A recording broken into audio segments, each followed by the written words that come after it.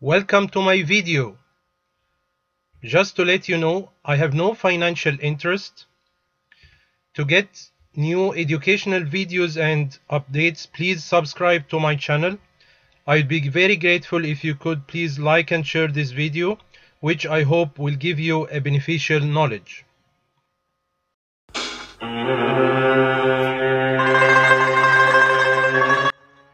The story starts from the atom. It consists of neutrons and protons with electrons around it and it is in a state of stability.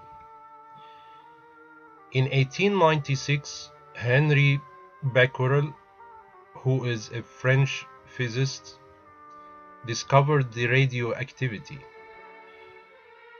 He discovered it in special element called uranium.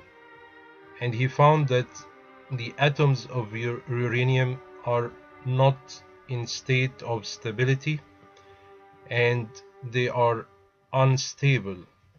So they are releasing energy all the time to come to their stable state or ground state. So these are the signs of a radioactive material and you have to take care of this sign uh, not to come near of this material. Um, so this is in short the radioactivity. In 1899 a British chemist Ernest Rutherford have classified the types of radiation into three types according to their penetration of material. So we have the alpha waves or alpha radiation and the beta radiation and the gamma radiation. So the alpha radiation it stops at the surface of any tissue. The beta radiation can be stopped by aluminum or plastic shields and the gamma radiation can be stopped by lead. The source of the beta radiation is different but one of the commonest metals or elements that is radiating beta radiation is strontium 90 which is consisting of a metallic element and it it, it is formed of uranium and plutonium together. So this is the most common source of beta radiation in medicine although there is other elements.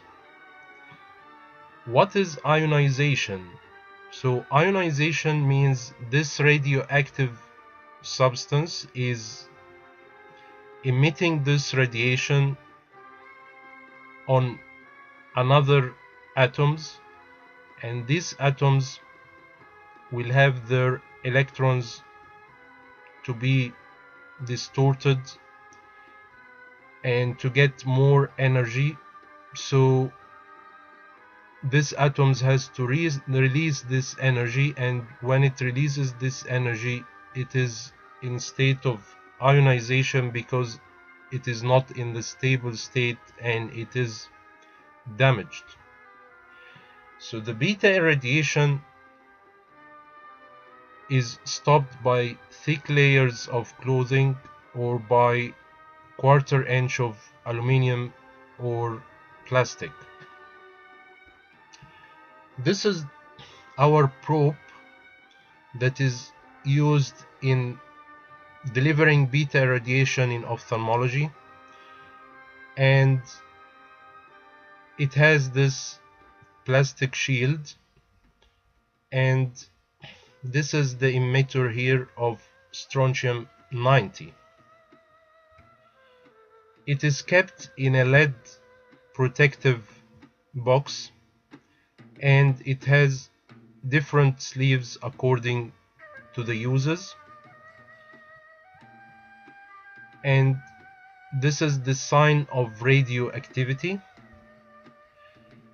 The parts of the applicator is the emitter which has the strontium 90 which is put topically on the part that we need to treat with beta radiation. this is the Perspex shield which protects us from any unnecessary radiation and this is the handle how does it work it actually makes damage to the fibroblasts in the conjunctiva or in the tissue that we want to stop the activity in.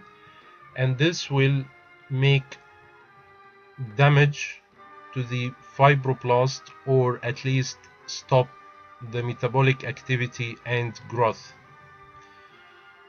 So this is simply how it is working.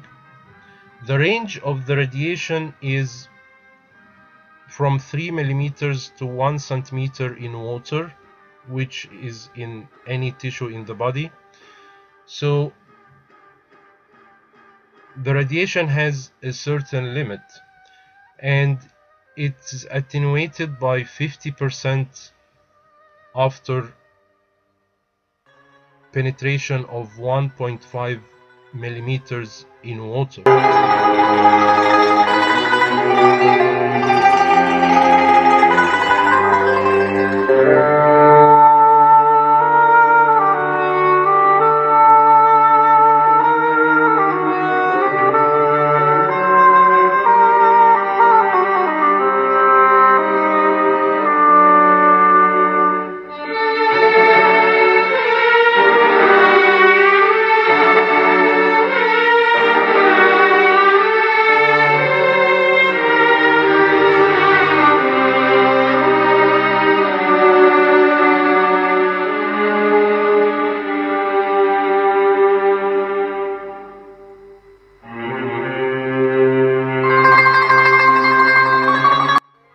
The dose after pterygium excision is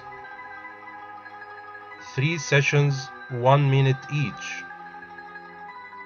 So it is about 1 minute to give us around 5000 to 6000 rads in total.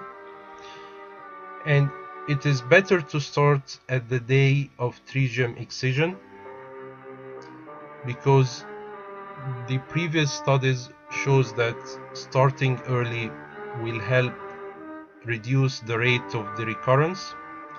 And then we do another session on the first post-operative day then another one on the second post-operative day after the pterygium excision. The post-operative care, which is very important to avoid scleral dryness and melting, is to cover the eye for one week and to use frequent lubricants and eye gels every hour or every two hours together with topical antibiotic ointment three times per day for one week.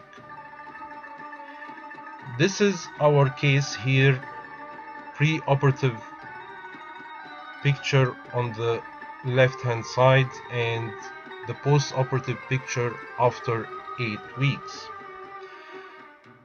The side effects of the beta irradiation is very rare, but it can have some conjunctival telangiectasia or scleral thinning, necrosis and melting, or very rarely you might have lens opacity. The uses of beta irradiation in ophthalmology are first as an adjuvant after pterygium excision which reduces the recurrence rate significantly as shown in this video. Although this is not my preferred technique at the present time, as I discussed before in my previous videos, my preferred technique is conjunctival autograft or stem cell graft. Um, although there are some studies in this area at the present time, in treatment of resistant vernal conjunctivitis, especially palpebral spring catarrh, we, we can use this applicator but in a different course for six sessions and this after shaving of the resistant eyelid papillae. Treatment of corneal neovascularization as an adjuvant in subscleral trabeculectomy during the trabeculectomy clip operation and in treatment of ocular surface neoplasia, in some benign eyelid neoplasia as well, and in treatment of wet age-related macular degeneration, but different applicator and different source as ruthenium uh, brachytherapy. I would like to thank Professor Dr. Saad Rashad, Professor of Ophthalmology, Ain Shams University, Cairo, Egypt, for his great contribution in the field of beta radiation and various studies and papers. Thank you for watching.